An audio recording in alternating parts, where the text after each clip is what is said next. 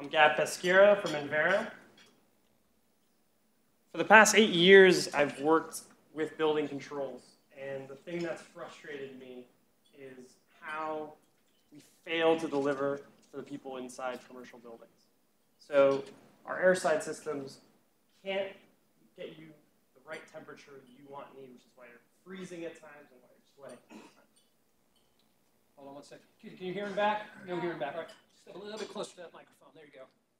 All right, I'm going to stay right here. All right. So the, the central issue uh, is actually that these systems don't really respond to changes in occupancy well. And this problem has been documented as an $11 billion problem in the US alone. But the bigger problem goes back to you not being happy in your office or your classroom, right? The impact on your quality of life, on your productivity, uh, in terms of comfort, is really the hair on fire problem and, and the frustration people find with their workplace. As you can see, you know, you've probably experienced it, but uh, so do the majority of people. So when we talk about occupancy and you talk about basically air conditioning systems, so that pushing air to you in your room, there's three things that we're really solving for. One, underutilized space gets overserved and, and it really run based on assumptions. Um, two, when rooms like this fill up, trust me, in 30 minutes it's going to be much warmer in here, and that's no good. So think about that crowded meeting room. And three, the air handler that serves multi-zone, that's really what we're focused on, multi-zone systems, is really not delivering for the hottest and the coldest zone. It's really just trying to find a middle ground that doesn't quite work. So our sort of comfort as a service is really pinned around the algorithms we've developed to optimize both at the air handler level and at the zone level, right? So we take into account air quality, temperature control, and of course, energy consumption.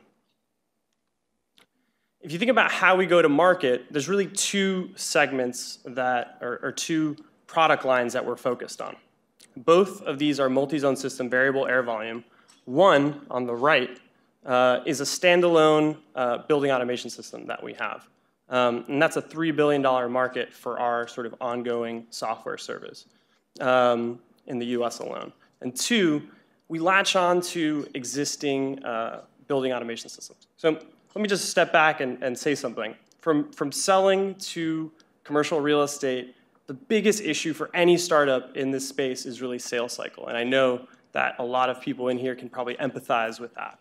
So we've developed a way of getting basically starting with just one room or one floor, a very low barrier of entry model for the web-based system, and focusing on tenants and contractors who serve those tenants to provide lightweight building automation systems in a multi-tenant commercial building. So again, trying to get that sales cycle to a month um, in order to make this really scalable.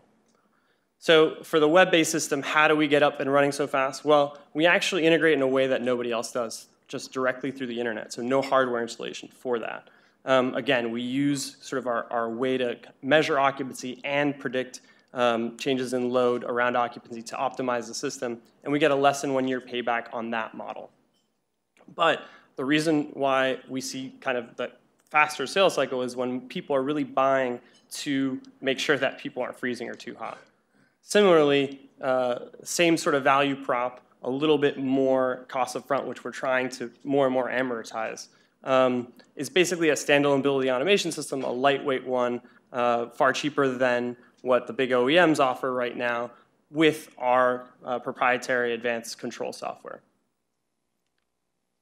So just the first case study I want to run through, uh, full disclosure, this building's owned by BMW, that's an investor of ours, so we kind of got an easy test bed there uh, starting in August.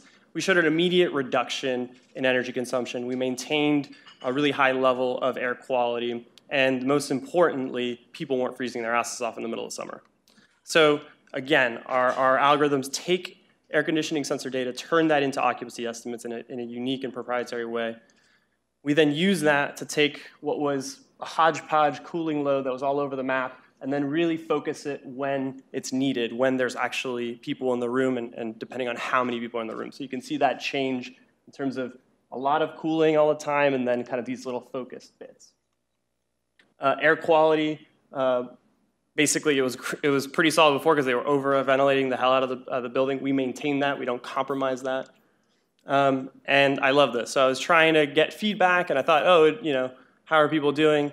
Um, as you can see, Liz was living under the tyranny of an HVAC system that dictated her wardrobe.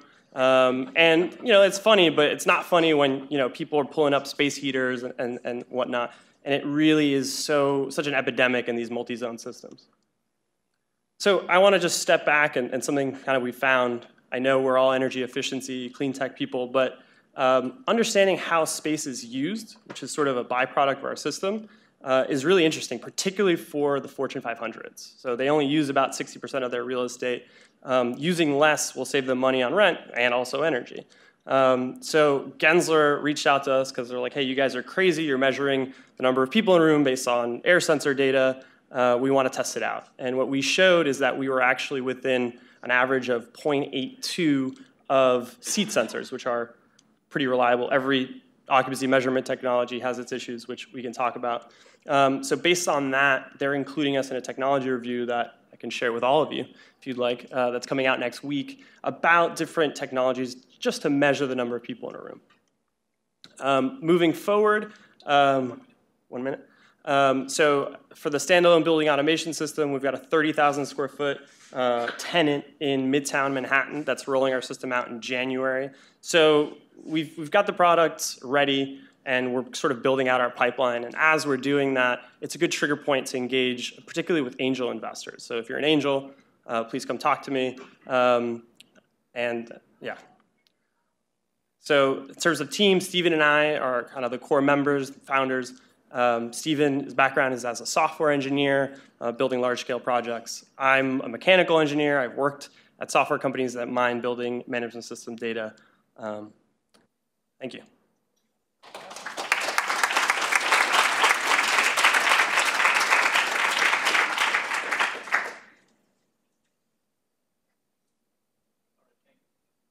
there's a lag here by the time it kicks in. So thank you. Uh, bunch of questions, but let me just ask you this. Uh, assuming it works as represented, walk me through the sales cycle from start to finish and tell me where the friction is.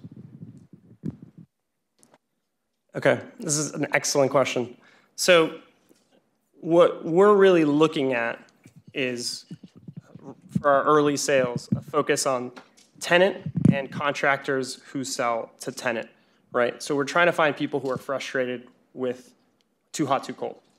Um, once we have that initial meeting, I would say um, maybe the biggest friction, to be honest, is uh, the fact that we're offering guarantees around temperature control and maintaining a certain range. Um, it's sort of novel, and so getting legal involved. Because everybody who suffers the problem, you know, it's a high priority, but then you get to legal, and they're sort of like, we've got a ton of stuff on our plate. Um, so that's, and that goes back to my previous experience in this space too. So I think getting something that's a little different approved is probably the, that's probably the slowest part. Generating a proposal for us takes a day, two days. How are you structuring the license fees? It's a great question. Um, so you, you, notice there was two models. Um, on, on a high level, uh, you've got a model that's a little bit more expensive for standalone building automation system, uh, ongoing fee, and then you've got a lower fee if you're just doing on top of a web-based system. Um, so that's a percent per square foot per year model for both. Um, and again, uh, for the standalone, there's a hard, there is a hardware component, I have to say. And so we're trying to figure out how do we get that upfront lower and lower because again, friction, right? Um, I have, I guess I'm getting a little bit of a mixed message. Um, you're, it sounds like you've got two, um, I don't know if they're value propositions, but you're, you're talking about controlling the environment to make the consumer more comfortable, the, the, the tenant's tenant, so to speak, uh, in a building. Uh, but what is, you also have this energy savings component. Uh, so when you're talking to either the, the tenants or the contractors, what are you leading with? That's a great question. So we start by saying we're controlling temperature right, and the and this whole thing will pay for itself in less than two years with the energy savings. And then when they look at the actual contract, they're looking way closer at the temperature control than they are at the at the energy cost savings. The energy cost savings satisfies the CFO, but the push is coming from the office manager and the operational person who's getting all the complaints.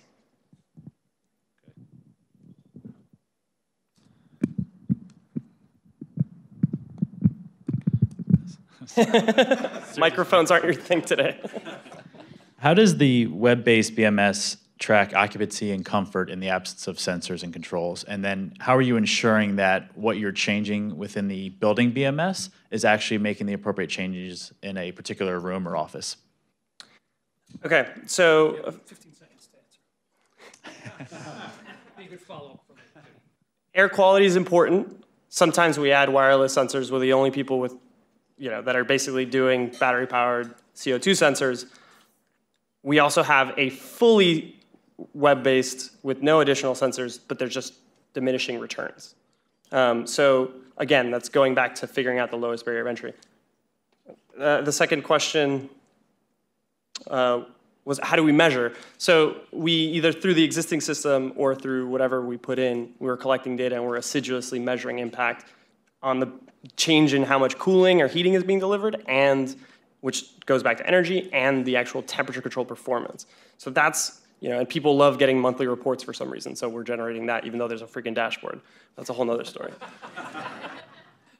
Good, thank you, Gab, well done.